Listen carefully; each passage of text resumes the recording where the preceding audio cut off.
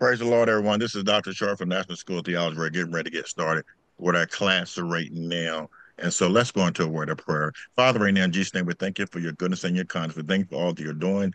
We thank you for the multitude of blessings you have bestowed upon us. That God, as we go into the class, God allows us to go into your word. God allows us to discover there, God, the revelation and illumination. Allow us to come to understanding and comprehension. In Jesus' name we pray.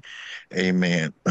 Tonight's mm-hmm. class is not going to be long. I'm not feeling my best. So just keep me in prayer. Um, so uh, I want to um, get right into um, chapter six. We'll deal with, um, yeah, we want to go into chapter six. I want to go right there for right now. The context principle. Okay, um, what you're getting ready to get into is um, I've got what you're what you're getting ready to get into is um, a teaching uh, of principles that is meant to help you again to if these principles are applied you can interpret any scriptures in the world.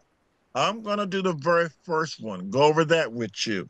This is the context principle.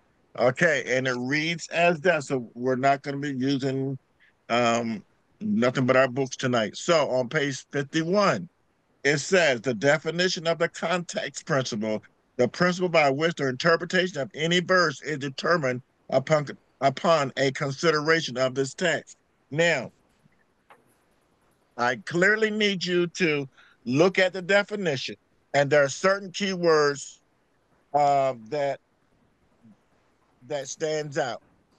That you know, listen it says that the interpretation is determined upon consideration of its context. Okay, it means just to consider.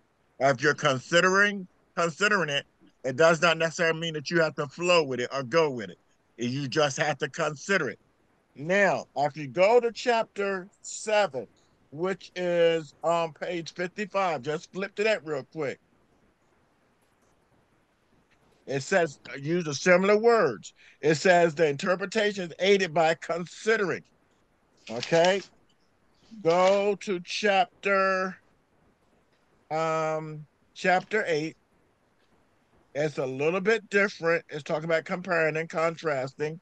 I want you to go to chapter 9. And you'll see the word consider.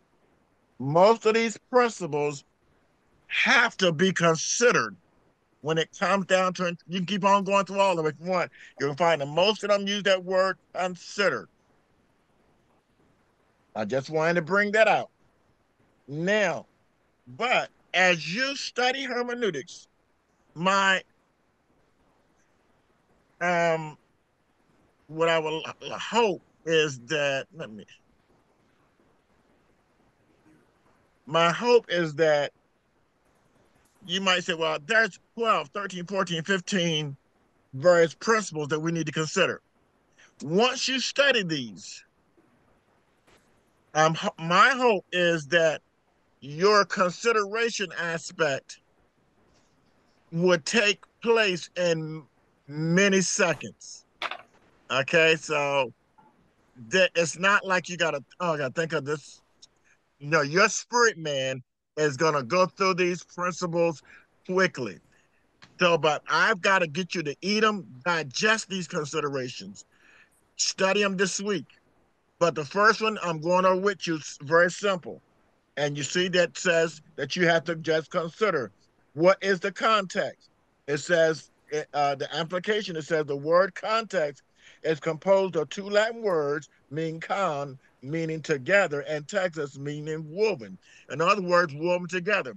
In other words, what it's saying, um, and and in plain terms, excuse me if I'm talking. Look, my throat is kind of sore tonight, and um, so I want to get this done before I lose my voice. What we're we're here is saying is that in order to understand the scripture, many times you have to take one scripture and move it are connected with another mm-hmm. in order to understand it. Does that make sense? Yeah. We all do that all the time. Most of the time, you cannot take one scripture all by itself and say, oh, well, the Bible says so and so. You have to allow scripture to be connected with scripture in order for you to be sure that your interpretation is right. So, so that's scripture connecting with scripture. We'll get back to that. But look what the first highlight says fresh revelation context. Let me read what it says, and this is crucial.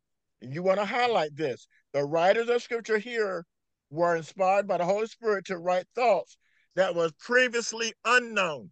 You need to highlight the word unknown that they prophets, they many times Dr. prophesied. Short, what page is that on? Excuse the me. same page. 51, 51. Uh-huh. So here you're looking at fresh revelation is nothing more than writing. The, hold on, I'm gonna change something. I'm looking at everybody.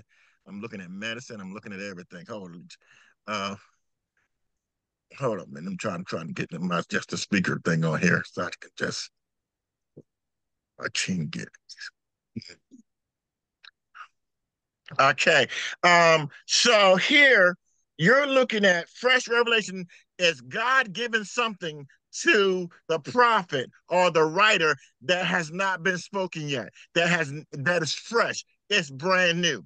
So therefore, more than likely, again, this writer had no idea what they was writing. They were trusting God in what they were saying. They had no clue, more than likely, what God was talking about. All they knew that what was important to them, that God was talking. In order to get this level of revelation, to be able to preach and teach God's word and hear fresh revelation, you have to understand the context principle. You need to know God's word in order in order to allow God to use you to minister. People say because I talk about all the time. I don't use a whole lot of notes. That's because when you learn God's word, when you learn a certain percentage of God's word, God, the anointing will take scriptures that's embedded in your soul and bring them together and give you fresh revelation and make you go, wow, yourself. You're just as much excited as the people are because you're getting something fresh that you didn't see before yourself. But the Holy Spirit is doing that. That's fresh revelation. Now, if you done got your sermon off of sermon.com, sermon.net, and you done went on YouTube and copied somebody's message, that, that that's not fresh revelation. Copying other people's sermons is not fresh revelation. Fresh revelation is God giving something previously to you, not necessarily the audience, but to you as the preacher, especially that you did not know. This take a dependency uh, uh, uh, in faith of trusting God. This is again a dependency on knowing God's word, fresh revelation, speaking that that has not been spoken before. Now, what he does here, still there, he gives us various scriptures that was where we can find evidence of that. Jeremiah 31, 34, we don't have time to go over all that. Ephesians 2 and 11, I think we discussed this before, where it said, uh, when we were talking about the revelations, remember it says that God hid from the Jews about the bringing in of the Gentiles.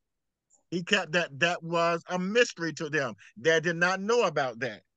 Mhm. Okay, so but w- next one is woven revelation. Woven revelation is when God give you two scriptures that you already know, everybody know, and put them together to give you revelation or to confirm something else. So, so we got fresh revelation, which is something that uh, the writer more likely did not know, and woven revelation, the writer understood it, but he used other scriptures to bring enlightenment for other people. Any questions, comments, or statements?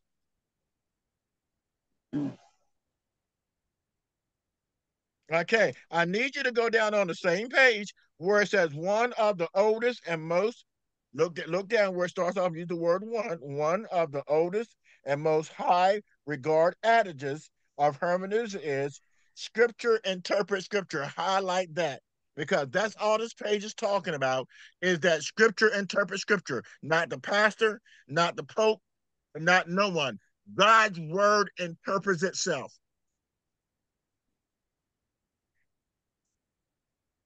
So highlight that. Now, down to A, all the way at the bottom, it says the whole of the context. The context of any uh, specific verse is the whole of the scripture. No one should look at this. This all this needs to be highlighted. No one, no one verse should be used on its own. Stop right there. No one. I said that while ago. No one verse. If you quoted something, you still need to, if you possibly can, try to connect it. No one verse should be on its own from its relationship from the body of the whole. So therefore, you just go grab something from somewhere else and try to throw it and try to bring it somewhere else.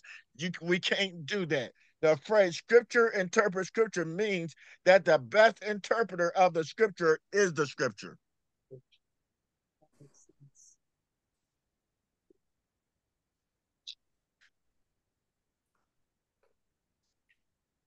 Okay, so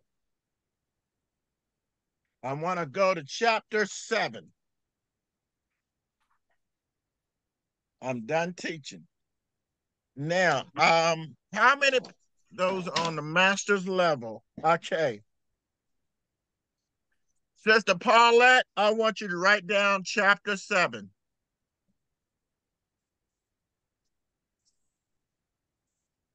Sister Julie, you have chapter eight.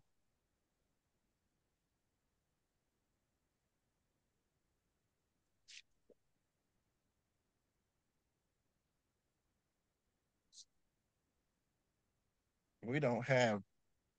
Let me see who else is on here. The the the the, the chief of council. Okay. Oh, Mr. O'Brien. Okay, you got you have chapter nine. I'm gonna tell you what we're doing. This is gonna be highly interesting.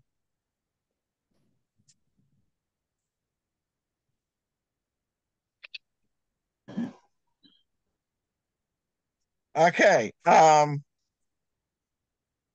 so seven, eight, and nine is going to be taught by our master's and doctoral students. Okay. Now, but that's not nothing at all right now. But this is um we're going to use these principles. Based on the context principle itself, you can interpret most scriptures. Okay. But there are a lot of teachings that I need that I'm gonna uh, you need to write down speaking in tongues. Write down number one, speaking in tongues. Number two, prayer hours. Prayer hours. H O U R S. Yes. Okay. Yeah, like three o'clock. Uh, some oh. believe in the, that that pray around the three o'clock hour, the twelve o'clock hour. You know, the midnight hour. God's gonna do it. You know, I think it's nature. Okay, ties.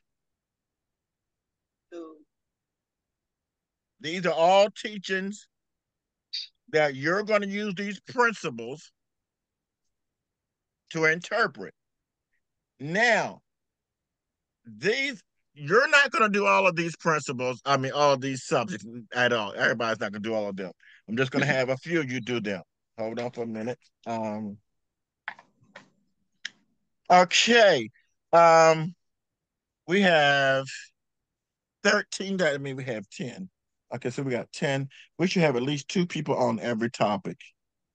Okay, let's say, for instance, and this is how you're going to have to write your paper. I don't believe that you have to speak in tongues.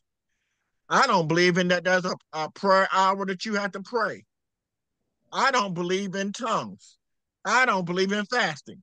Your job as uh, as a um, interpret interpretator, a leader of God's word, and some of you have already had apologetics. So you're adding apologetics to hermeneutics. Now you're going to defend the faith after you can.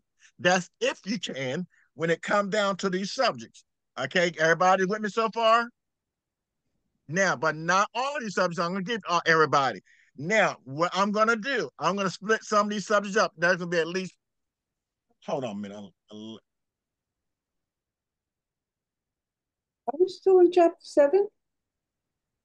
No, we're. T- I'm just talking to you right now, hon. Oh, okay. Um, did you write down? Did you write down those topics that I asked you write down? Speaking in tongues. Yeah. Prayer hours, Speak in I- tongues, right, prayer okay. hours, and Okay, she got it. Okay, so now, okay, let me go back to these subjects. These, uh, I'm looking at 13 people on here, probably less than that, probably about nine. I need two people to do the research on speaking in tongues and using these principles. Ne- oh, I'm letting somebody in, excuse me.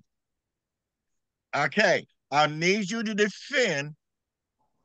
And if you can't defend it, I need you to come back and tell me why.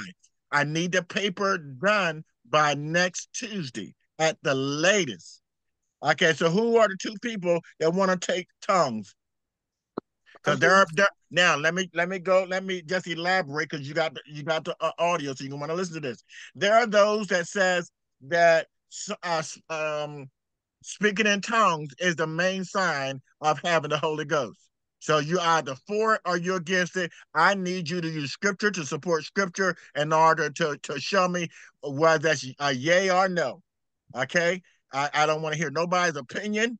That's why we got bought this book. This book is telling us about principles. It's telling us the best interpreter of the scripture is the scripture. Just the first principle is telling us this. You haven't got to chapter seven, but in order to defend, defend what you believe, everybody's going to have to probably at least go through and skim chapter 7, 8, 9, and 10. It's simple to do.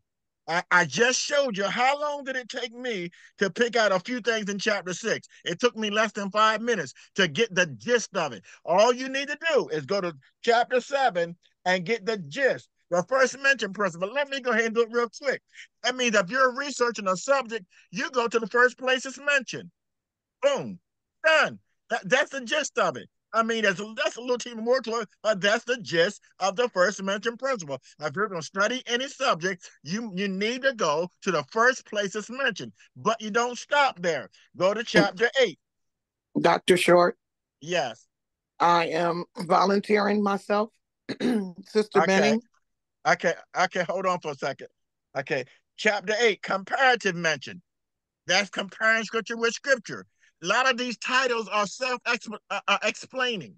So you're not going to be all week reading nine chapters. It's going to take you one day to go through all these chapters. Not even, excuse me, not even one day. A few, just a couple of hours. A few hours to go through these principles. But these principles are crucial. You need to. They're crucial. When you're done going through these principles, that before now, my master students are going to come back next week and they're going to go in depth on this stuff. They're going to break it down a lot deeper than your associates people. Your associate people are going to go go to it and get the gist of it. They're doing more than getting the gist. They're going to give you examples. They're going to give you examples. Okay, but after they done done their teaching, then we're coming back to my associate students, and so uh, Sister Bennings got. So does anybody else um want to do tongues? That Dr. Short, this is Apostle Feaster. I'll take it on. Okay, so my two Buffalo people. Okay. I had to, Dr. Short, I had also um asked for speaking in tongues. I didn't know if you heard it. Yeah, I did too. You asked for it. Yeah. I Oh, can, no, no, no. I can also do the prayer hours. I have those already in, Uh, okay, in you, a you file. okay, Sister Bennings, Sister Bennings, take the prayer hours. Sister Okay. Julie, no, you already have a topic that you have to teach on. I'll take I don't want th- this is just for this is just for associate students, associates and bachelors, associates and bachelor students. Okay. So okay, so let me do this again. Speaking in tongues is gonna Oh, I see what you're doing.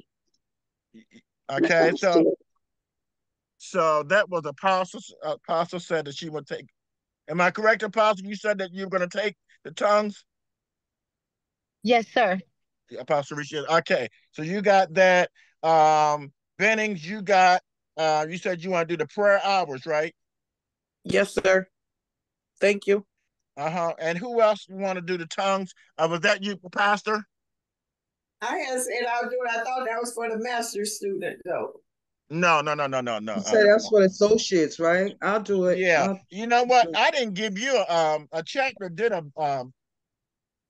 no, you're supposed to be doing. So you have chapter ten, the complete mention principle. Pastor Okay. Betty, Okay, I'm writing it in my book, so there's no way I cannot know. Forgot what? Okay. Okay, good. Okay, so again, who else wants speaking in I'll tongues? take it. I'll Who's take the, it. who? I will Okay, take the uh, speaking in tongues. No, I would, okay, pass. The, the Doris got it. Okay, I got her name first. Okay. Okay, uh, but a chief apostle, you can take. You can take. Uh, we still have prayer hours, tithes, and fasting. I'll do fasting.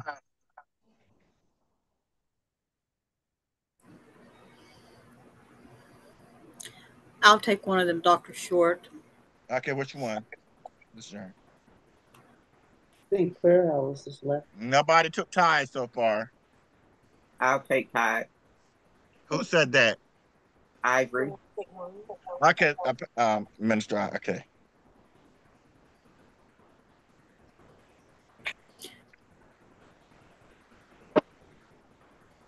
Now, um, who have I missed? Is there anybody that don't have something? I don't have anything. Who's that? Latoya. Okay, And I don't have anything either. okay, cool. Okay, I got you too. Okay, um, m- um, Mr. Latoya, let's do the prayer hour.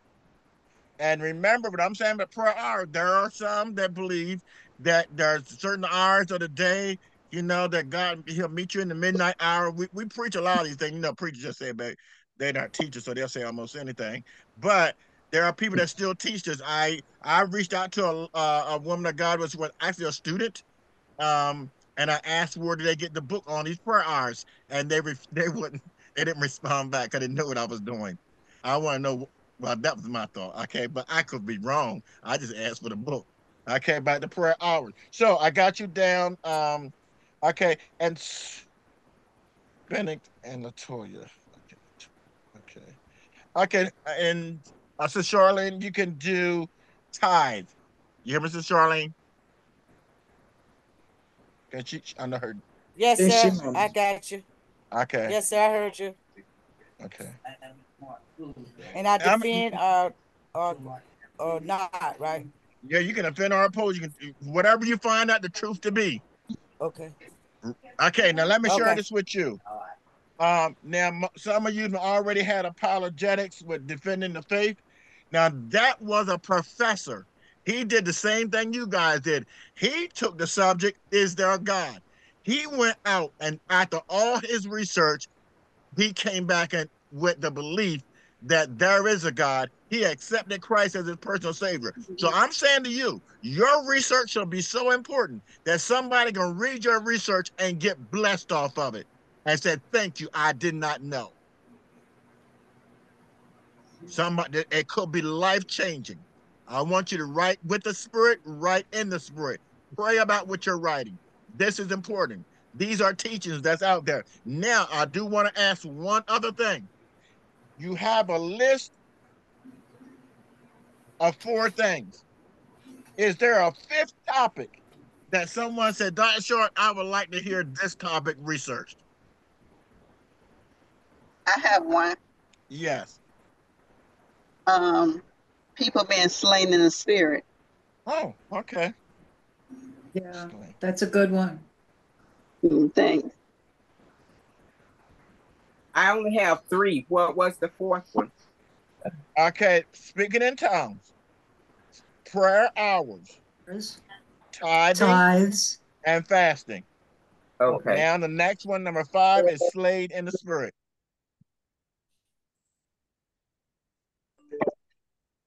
Does anybody want to take slaying in the spirit? You think you can handle two? Nobody got- Okay, I'll take that. one. Okay. to figure out what I'm doing. Okay. Okay. Now, um, so pretty much that's your homework assignment, but please don't get it in no later than um next Tuesday, please. No later than that. I, I love if you can get it to me by Saturday. Saturday, I have all day to just look at papers. Uh, but I, but again, take this serious. When what your research should again should be like a research paper. Most some of you done had that uh that class already doing your research. So make sure that you cite your sources. I need to know where you got your information from. And please just don't go to uh, uh got questions and cheat like that and go with them. They could be wrong. Don't don't do like that, please. Break down, you know, um why this is the answer. Go through the process. Don't cheat yourself. Because if you, you can easily do that, and guess what? When it come time to God to use you, God can't use you all. He can use you the website you went to. You want Right. God to use you. Right. Okay, is there any? Yeah. No. Okay, Dr. Short, I got a little lost as to what everyone is doing. Now, when you Yeah. say my name on chapter seven, am I only doing something in regards to the first mentioned principle? Okay, and, and the chap in chapter seven and all the, and everybody else, when it comes down to chapter your chapters that you have, not you're reading it, but you're gonna come up with examples that you can't don't use the examples that's there. You're gonna teach this. You mainly you're gonna teach it. I need you to be to teach this to the uh those that are on the other levels that's below you and just break it down. So more likely you're gonna come up with examples, or you can use examples here, but you need to be able to break it down. I just went through and just done a quick bam. All right, took me five seconds to do it because the definition pretty much gives you 50% of, of what it's all about. To consider the first mentioned principle. But guess what? Every word is not in the book of Genesis. Some words only come out in the book of Revelation. There are certain words that's only mentioned one or two times.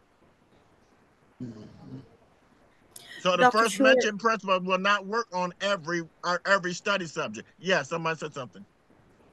I did. I just wanted to make certain of the topic that I had because I missed something in there as far as the topic went. There was a couple other conversations going on. Okay, I have.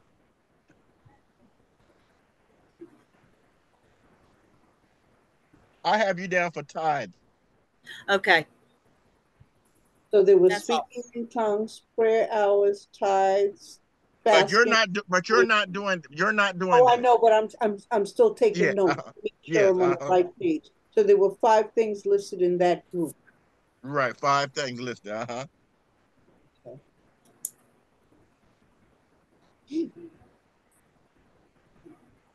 I need to know that you not only are you starting those principles, that you know how to use those principles. That's what we need to get out of this. Okay, so is, is there any last question, comments, or statement? Because you can get started right now. You still have a half an hour to go in this class. Okay, God bless you. May heaven smile upon you. I will post this. Oh, no, no, Dr. Short, no. Okay, okay, come on. yes, Sister Betty. I apologize. I was slow on the button. Um, Okay. I wanted to go over the questions that we we did um the the 10 second uh questions that you asked a couple of weeks ago um about was uh Mary Magdalene promiscuous We have to go to Um, video one on that. But video one but those are you were just asking um which video gives the answers Did you look at we, we didn't cover we didn't cover that in two?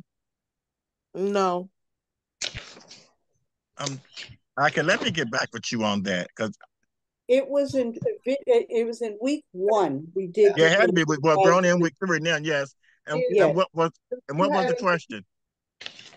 Yeah, There were five questions you asked us that we had 10 seconds to answer just off the top of our head. Um, does it say in the Bible that you hate? Yeah, it wasn't a Then- homework and- assignment, right?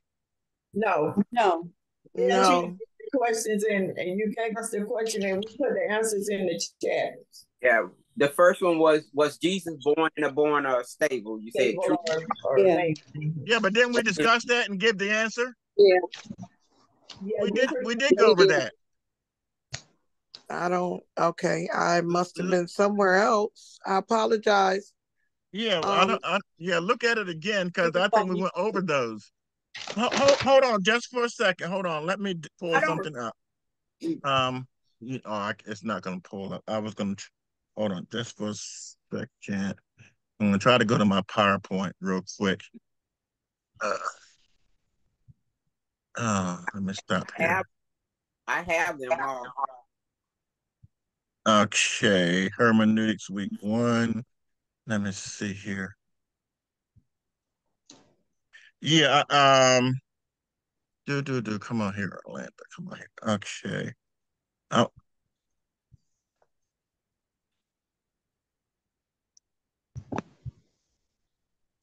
Okay, let me see here. Was Jesus born in the manger? If while you're looking for it, can she um give us the questions again so that I can have them Okay, written it's in, down? it's in front of you. Okay, thank you. In a barn or a stable? Born in a barn or stable, I put manger. I'll just take a picture. Yeah, that's a good I idea. think the question was, was it true or false? False. That's right. Whether, was Uh, and we, true or yeah, we did discuss that. Um, the word Trinity is it found in the Bible? True or No. Where it's, it's not. Mary Magdalene was she promiscuous? No. they said she was, but she wasn't. She wasn't. I can love the sinner but hate the sin. Is it in the Bible? No, No. Noah was mocked by the people for building the ark. no. No, he, he wasn't. And then we went on the seven deadly sins. Yeah. Okay, I remember us talking about. Okay, I got it. Okay. I got it. I apologize. No Thank problem. you. It was a really good discussion around that. You might want to go back and look at week one because I needed to as well. We had some good discussion around that. Yeah, there's a lot of information on that one. Yeah. Okay. Okay. Thank you. Thank you guys. Appreciate you. So I'm look I am excited, looking for um our teaching because a lot of people follow National School of Theology. They follow us. So I need you to do your research paper and um you never know what we might do with it. So we I'm quite sure we're gonna bless a lot of people with what you guys come up with. Okay, so uh, God bless you. May have a smile upon you, and we'll see you all next week, next Monday, Lord's will. God bless you, everyone. Bye bye. God bless Good you. night. God bless God bless everyone. You. Bye.